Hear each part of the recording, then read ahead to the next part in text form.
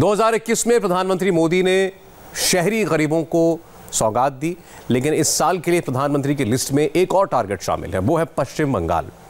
बंग युद्ध 2021 में दीदी के सामने नए चैलेंज आते जा रहे हैं। इसके पीछे एक बार फिर शुभेंदु अधिकारी हैं, जिनकी बगावत ममता बनर्जी को भारी नहीं, बहुत भारी पड़ रही है।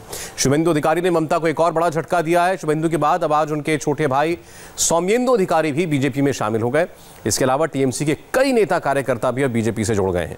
इससे पहले दिसंबर 2020 में शुभेंदु अधिकारी छह तृणमूल नेताओं के साथ बीजेपी में आए थे और अब बारी उनके परिवार की है। यानी शुभेंदु दीदी के गढ़ में सेंध लगाने की बड़ी तैयारी कर रहे हैं और दीदी के लिए कदम कदम पर चुनौती खड़ी कर रहे हैं সমস্ত কার্যক্রমে তাদের নাম করি আজকেও তাদের নাম আমি নেব তাদের বলিদান सौम्येंदु अधिकारी जो कि भाई हैं शुभेंदु अधिकारी के वो भी आज बीजेपी में शामिल हुए उनकी तस्वीर आप देख रहे हैं दोनों भाई एक साथ बीजेपी के मंच पर हैं দাসকে ফাঁসি ये भी एक इम्पोर्टेंट लीडर थे तृणमूल कांग्रेस के इनको इनके पद से तृणमूल कांग्रेस ने हटा दिया था কাটে হত্যা করেছিল और अब इन्होंने बीजेपी ज्वाइन की পটাশপুরের মদন ঘরাইকে পুলিশ তুলে নিয়ে গিয়ে कांथी नगर पालिका के अध्यक्ष थे सौम्येंदु अधिकारी शुभेंदु अधिकारी के भाई পুরের বকুল জানাকে নির্মমভাবে হত্যা করেছিল পঞ্চায়েত সদস্যের স্বামীর করোনা হয়েছে তার প্রতিবাদ করেছিল সামাজিকভাবে মেলামেশা করবেন না